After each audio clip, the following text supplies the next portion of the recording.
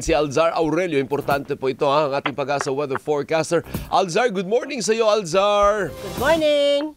Hello po at good morning ah, sa ating lahat. Nasaan na si Leon? Alzar, totoo ba na parang bagyan lumakas ang bagyo? Ah, yes po, ah, bahagyang lumakas ang bagyo dahil ito'y nasa East Philippine Sea. Isa siyang ah, tropical storm ang ah, bagyong nito at ang lakas ng hangin nito ay umaabot sa 85 kilometers per hour samantala ang pagbukso ng hangin ay nasa 105 kilometers per hour. Ang layo ni Bagyong Leon ay nasa 840 kilometers silangan ng Central Luzon. Yung ah, lawak Alzar, sorry, sorry, Alzar. Yung sa satellite, di ba may nilalabas kami ngayong satellite uh, image? Yung kulay pula na yan, no? yung parang tumpok na yan sa may bandang uh, Pacific Ocean, yung kanan ng mapa. Yan yan, yan si Leon. Apo, si Leon po Ay, yan. bala, mal- mukhang malaki, Alzar, ah. Opo, malawak pero hindi kasi lawak ni Bagyong Christine. Ay, oo, tama naman. Pero para ito, para siyang, ano, par- parang concentrated masyado dun sa parte na yun, no? Malakas ba itong bagyong ito, Alzar? Ah, malakas to. Ah, Oh, no. tro- tropical storm at maraming ulan to. Oh, no. Ah, opo. Ituloy mo. Yes, eh, yung ah, diameter ng bagyo ay hindi pa umaabot sa kalupaan. Pero nagtaas na tayo ng tropical cyclone wind signal number 1 sa eastern portion ng Cagayan, eastern portion ng Isabela at northeastern portion ng Catanduanes. Patungkol naman sa pagulan, ay ngayong araw wala po tayo inaasang matitindi o malalakas na pagulan. Pero paalala sa mga kababayan po natin, patuloy na pa rin tayo mag-alerto at nagtabayan ang ating update na ating pinapalabas.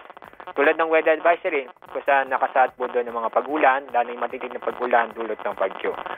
Ang yung trough ng bagyo o extension area ng bagyo ay naapekto na umaabot na sa bansa, lalo na sa western section ng South Luzon, buong Visayas at Mindanao.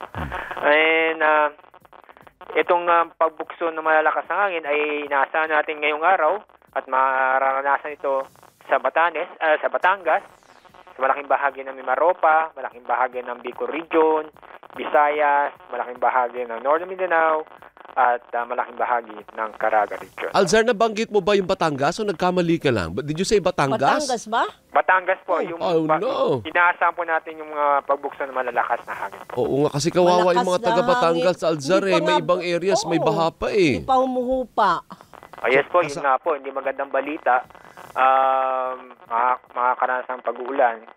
Lalo, kahit na mahinang pag-ulan, kung ang ating ah, lupa ay saturated o hindi na kayang subsipsipin, Tama. so, kumbaga, sensitive na, kumbaga, mataas ang chance na magbaha.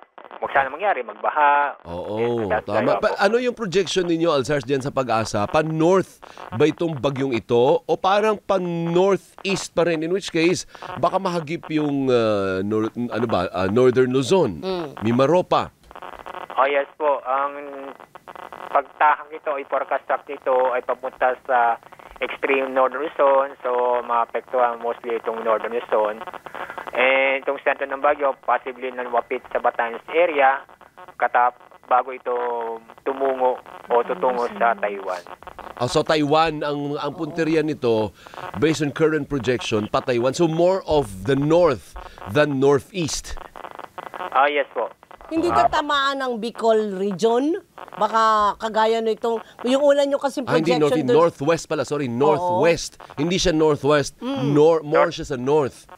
Apo, apo. Okay, okay. Ay, ito yung sa may parting Bicol region, ngayon po ay nasa ilalim ng tropical cyclone signal number 1 sa northeastern portion ng Catanduanes. Ayun, partner. Kasi Kasi, Catanduanes is opo. Bicol eh.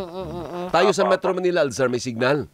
Ah, wala po. Pag kayo na nangangagiging track nito, ah, malabong magtaas tayo ng signal ng signal, well, wind signal sa Metro Manila. Ay, sa, sana naman Oo hindi nga, rin oo, ano. oo, oo. Anyway, sige, antabayanan natin, Alzar. May, magla-landfall ba ito? Um, sa ngayon, ilalapit lamang sa sa Batanes area. Ah, mataas ang tiyan maglaan po sa Taiwan. Pero dito sa atin, lalapit po sa Batanes area itong si Bagyong Leon. Kapag hindi magbago ang galaw nito. Ah, Okay. Sige, sige. Mag-antabay na lang kami, Alzar. Oo. Tapos sa labas, wala namang namumuo na kasunod milyon. Wag naman. Ah, wala, wala po. Wala na. na Ay, Diyos ko po. Sige, Apo. sige. Thank you, Alzar. Maraming salamat. Maraming salamat. Thank you. Maraming salamat po. Mag-ingat po tayo. Mag-ingat ka rin. Thank you. Si Alzar Aurelio po yan ang ating pag-asa weather forecast. Gising na, Pilipinas! Sa mga nagbabagang balita at impormasyon. Subscribe na sa Teleradyo Serbisyo YouTube channel.